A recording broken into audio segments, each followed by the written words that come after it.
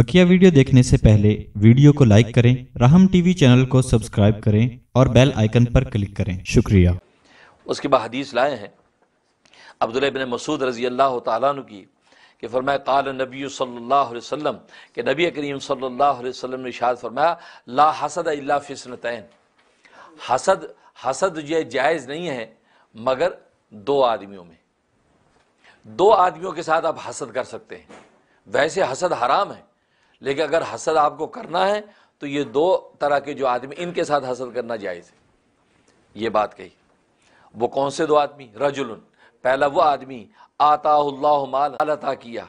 फसलत वाला हलकती फिल हक, और उसको हक के रास्ते में खर्च करने पर मुसलत हो गया। सुबह शाम हक में खर्च कर रहा है। अल्लाह के के मखरूक की खिदमत के लिए खर्च कर रहा है। फरमाया, ये आदमी जो है, ये इससे हसद किया जा सकता है।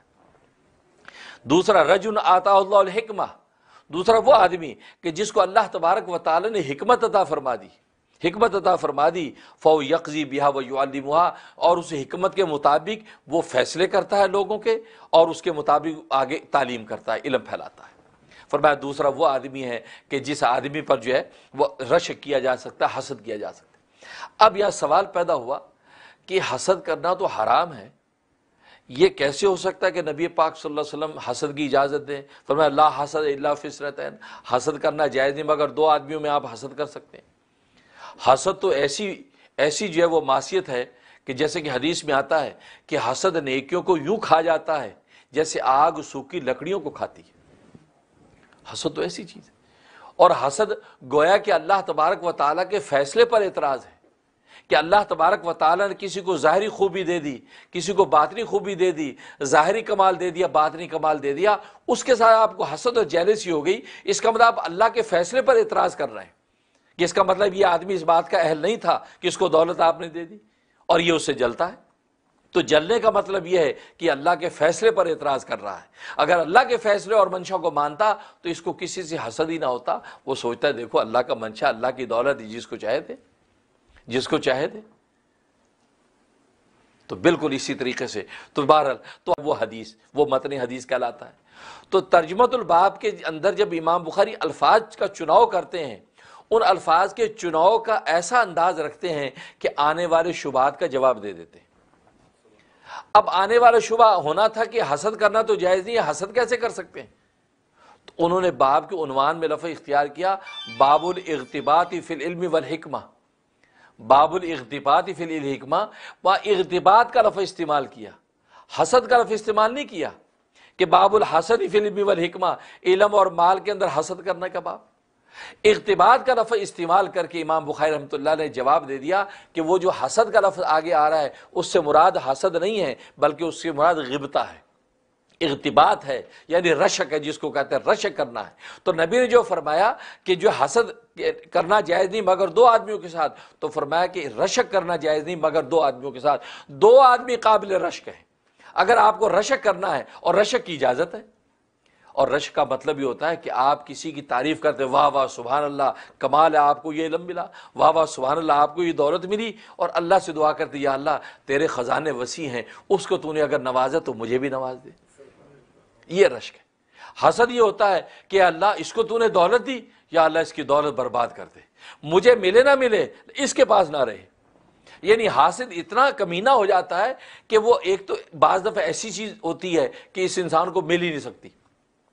तो उस सूरत में इसके जज्बात ये होते हैं कि मुझे मिले ना मिले, लेकिन इसके पास ना रहे। ये इस मनसब पे पहुँचा है। मैं इस मनसब पे पहुँच तो सकता नहीं हूँ, लेकिन कहता कि या ये मनसब इसका छूट जाए। मुझे मिले ना मिले, लेकिन इसके बाद ना रहे।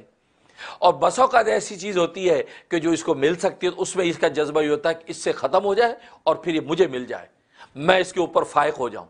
ये हसद का जज्बा होता है। और रश किसको कहते हैं? अल्लाह, तूने उसको अपने ख़जाने से दे दिया, ये मनसब और दौलत। या अल्लाह, तेरे ख़जाने में कमी नहीं। मैं भी तेरा बंदा हूँ तो मुझे भी अपने ख़जाने से अदा कर दे।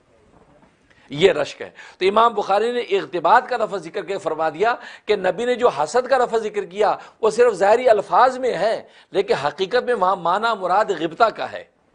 गिबता का माना मुराद है कि नबी ने फरमाया कि काबिल रश्क सिर्फ़ दो ही आदमी हैं। हर आदमी पे जो वाह ना करने लग जाया करो, हर आदमी पे रश्क ना करने जाए लग जाया करो, रशक के काबिल सिर्फ़ दो ही, दो आदमी। एक वो आदमी जिसको अल्लाह ने माल दिया और हक के रास्ते में माल खर्च कर रहा है। एक वो आदमी जिसको इलम दिया और इलम को जो वो फैला रहा है और उम्मत के अंदर उसके इंसाफ के फैसले कर रहा है, ये आदमी काबिल रश्क।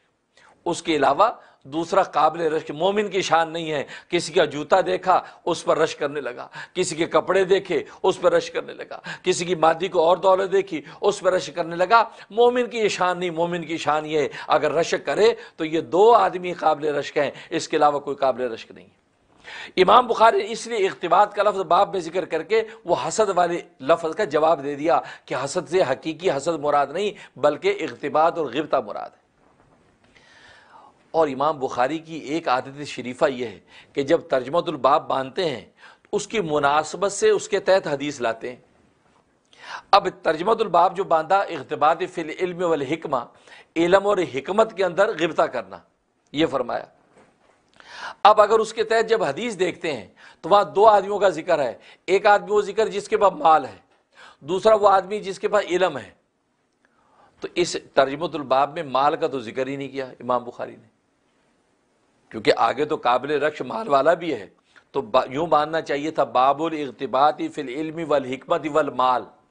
तो माल का लफज भी ज़िक्र करना चाहिए था, फिर उस मुनासबत ताम होनी, होती थी। लेकिन माल को ज़िक्र क्यों नहीं किया? सिर्फ़ इलम और हिकमत को ज़िक्र किया। और मज़े की बात यह है कि बाद में हदीस में इलम का लफज ही नहीं है। बाद में हदीस में इलम का लफज ही नहीं है, बल्कि क्या है कि रजुल आता कि दूसरा वो आदमी जिसको अल्लाह ने हिकमत अदा कर दी, फो यकजी भी वलीमुहा जो उसके मुताबिक फैसले करता और आगे उसकी तालीम करता है। इलम का लफज आगे है नहीं तो इमाम बुखारी इलम का लफ्ज़ कहाँ से लाए? ये इश्काल समझ में आ गया। इमाम तो जवाब उसका ये असल में बात यह कि माल का लफ्ज़ इसलिए नहीं लाए कि माल जो है माल, जो बंदा माल खर्च कर रहा हक रास्ते में, इलम के बगैर सही वो खर्च कर ही नहीं सकता। मालदार के पास अगर सही इलम नहीं है तो वो सही जगह माल खर्च ही नहीं कर सकता। वो ये बात समझ ही नहीं सकता कि ये माल खर्च करने का ये महल है, यहाँ खर्च करना चाहिए। ये नहीं है, यहाँ नहीं खर्च करना चाहिए। तो गोया कि जो इलम से खाली है, वो माल भी सही खर्च नहीं कर सकेगा। वो इसराफ में मुबतला हो जाएगा, वो तबजीर में मुबतला हो जाएगा, फजूल खर्चियों में मुबतला हो जाएगा, वो हर जगह खर्च करने लग जाएगा।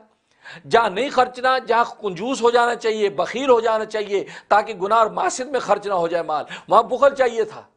लेकिन इसकी हालत ये ये इलम ना होने की वजह से जायज़, नजायज़ हराम और हलाल हर जगह खर्च कर रहा है। इसका मतलब यह है कि इस सिर्फ़ निरा, माल मिल जाना काफ़ी नहीं, माल के साथ उसके बाद इलम भी होना चाहिए कि माल को खर्च करने के तकाजे क्या हैं। रिश्तेदारों के अंदर माल कितना और कहाँ खर्च करना है? दोस्तों, यारों में माल कितना और कहाँ खर्च करना है? गरीब गुरबा में माल कितना और कहाँ खर्च करना है? ये सारे तकाजे इलम की वजह से उसको पता चलने हैं। इसलिए इमाम बुखारी ने माल को ज़िक्र ही नहीं किया। फरमाया, माल की अपने ज़ात में कोई हैसियत नहीं। हाँ अगर सही इलम उसके पास होगा, अब माल को सही तरीके से खर्च कर सकेगा। इसलिए वो